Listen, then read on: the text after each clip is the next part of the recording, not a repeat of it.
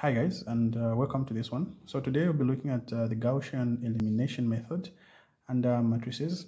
This method is usually uh, used to solve a system of simultaneous equations. It can be a 3 by 3, a 2 by 3, sorry, a 2 by 2, a 3 by 3, a 4 by 4, depending on how many variables you have.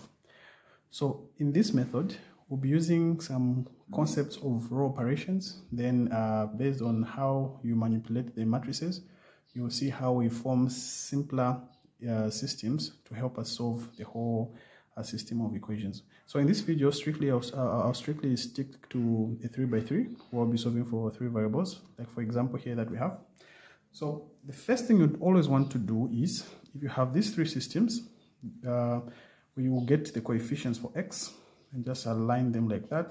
The coefficients for y, align them like that. The coefficients for z, align them like that then whatever we have on the right hand side of each we just put um, put them there like that. So now understand that um, if you do not have a variable for example in equation 2 you only have 4x and uh, negative 3z you don't have uh, the variable y. So what you do here at the position for y you put a zero instead. Don't just leave it blank. So it means that there'll be a zero there. So the goal that we need to to to, to to achieve here is to make sure that these three values become zeros. So these three values must become zeros. And then these three values here must become ones. So we need zeros here and we need ones in that uh, major diagonal. And of course, we shall do that by the row operation, like we said. So Let's apply row operation, then you will see how yeah, it's easy to use the Gaussian elimination. So also understand that uh, whenever you're applying the Gaussian elimination, uh, it's if you want, you can leave it in the simplified form where you put zeros everywhere, then just ones here, then you get your answers direct. But it's just easier to have zeros here and ones in the major diagonal. Okay, so I'll, I'll give you an example, then I'll come back to this particular example after the one that we shall do. So let's jump straight into it and uh, look at how to apply this method. Okay, so we have this these three equations. Then want to apply the method of Gaussian elimination to solve. So to start with, like I said, let's put them in matrix form. So this will be we'll have 1, 2, negative 1. We're getting the coefficients for x. The coefficients for y, we have 1, negative 1, and 2. The coefficients for z, we have negative 1, 1, and 2. Then we'll write down these values on this side, which is like that. Okay. So now remember, we need ones in the major diagonal, and we need uh, zeros here. So let's apply some uh, row operations. Okay. So in our first row, we're okay because we have a 1 here, but here we need a 0. So since we need a 0, what we're going to do is we're going to multiply row 1 by 2, multiply row 1 by 2, then we subtract row 2. So that whatever we do here, yeah, this will just give us a 0. Now remember, this is being applied on row 2. I'll go to write it there, like that. Then for the next one, again, we need a 0 here. So we're going to say the operation is on row 3. We're going to add 1 and negative 1 because if we add these two, we get a 0 here. So the operation will be row 1 plus row 3. Now, if you look at what I've done here, you can clearly see that I have not applied an operation for row 1. So row 1 will remain as it is. So row 1 is 1, 1, negative 1, negative 2. Like that. Then the only operation I'm going to apply here will be on row 2. So uh, 2 times row 1 will get a 0 here. 2 times row 1, that will be a 2. Minus this one, we'll get a 3. Because they'll add. 2, that will be negative 2. Minus 1, we'll get a negative 3. 2 times negative 2 is negative 4. Negative 4 minus 5 will get a negative 9 so we've applied in row 2 let's apply in row 3 so in row 3 we're just adding everything so to start with uh, if we add row 1 and row 2 we'll get a 0 here. We add row 1 and row 2 sorry row 1 and row 3 rather we'll get a 3 here. We add these two we get a 1 we add those two we get negative 1 okay. So if you look very carefully what we have achieved so far is uh, obtaining a 0 here and a 0 here as well. So the only thing we need now is a 0 here and a 1 there. Then we are set. So uh, the first operation we're going to carry out will be in row 2 Remember, row 1 is already set. So in row 2, let's write row 1 as it is. So row 1 is 1, 1, negative 1, negative 2, like that. Row 2, the operation we're going to carry out in row 2, remember we need a 1 here. So let's divide everything in row 2 by 3, like that. So divide everything in row 2 by 3 or multiply it by 1 over 3. So 0 times 1 over 3 is 0. 3 times 1 over 3 is 1. Negative 3 times 1 over 3 is negative 1. 9 over 3 will get a negative 3 because the 9 is a negative. Okay. When we look at row 3, we need a 0 here. So to get a 0 here, we can subtract these two. 3 minus 3 will just give us a 0 here. So the operation in row 3 will be row 2 minus row 3. If you want, you can say row 3 minus row 2 is just the same thing. So subtract there, we get a 0. We subtract here, we get a 0. We subtract, remember it's 2 minus 3. So 2 minus 3, we get a minus 4. 2 minus 3, we get a negative 8. So we've achieved the three zeros. Now we need a 1 there, a 1 there, and a 1 there. So the only thing remaining with is this part here. So how can you get a 1 here? Very easy. To get a 1 there, the operation we're going to carry out in row 3 will simply be 1 over 4 negative. We're multiplying everything in row 3 by 1 over 4 so row 1 and row 2 will be maintained.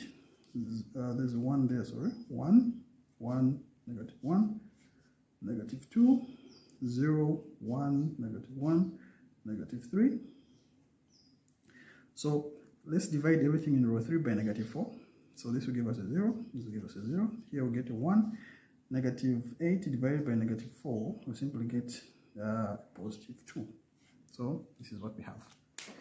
Now, if you look at um, what we've done here, we've managed to achieve the three zeros here and the three ones there. Whatever we have everywhere else doesn't matter. So now this is what we're going to do. Remember that uh, this column represents the x uh, variables or coefficients rather. This here represents the y coefficients, this here represents the z coefficients. So let's create uh, three equations now here. So for the first one, what we're going to have will be 1x, so that's just x, plus 1y, which is just y, minus z. So minus z is equals to negative 2. So that's the first equation. The next one, we'll go in the second row. We have 0, so we don't have x. We have 1y, so that's just y. Here we have minus z, and everything is equals to negative 3, like that. Then the last one now, we don't have x, we don't have y, we just have z. So z is equals to 2. So just by observation, already we have found the value of z. So having found the value of z, let's go ahead and find the value of y. So to find the value of y, we'll come back and use this equation and say y is equals to negative 3. So let's push z to the other side so it becomes a positive z. So y is equals to negative 3. Remember, z is 2 plus 2. So y is equals to negative 1. So we have uh, the value of y. So Having found y and uh, z, we can now easily find the value of x. So this is what we're going to do. Again, just like we did for y, we're going to use this equation. So x plus, remember our y is negative 1, so negative 1 minus z, remember our z is 2, so minus 2 is equals to negative 2. So x will be equals to negative 2, this one here, uh, negative 1, negative 2 is negative 3. It goes that side, becomes positive 3, meaning that the value of x is equals to 1. So this is the best way of solving this equation by using the Gaussian elimination method. Okay, so now, one thing you need to know is that if you intend to proceed with this method, here on these three positions, you can decide to put zeros here. If you put zeros here, what you're going to get are the three values for x, y, z here. But even if you leave it here, you can just form these three equations and easily find the three uh, variables. Okay. Okay, so I think we shall do this one instead so that at least I don't waste uh, much time. So uh, the first thing we're going to do, like we did in the previous one, remember we have to create uh, something that looks like this. Coefficients of, x, we have ones throughout. So we have 1, 1, 1. Coefficients of y, you have negative 1, 1, negative 1. Coefficients for z, we have 2, 1, negative 3. Then what we have there is simply 1, 4, negative 4.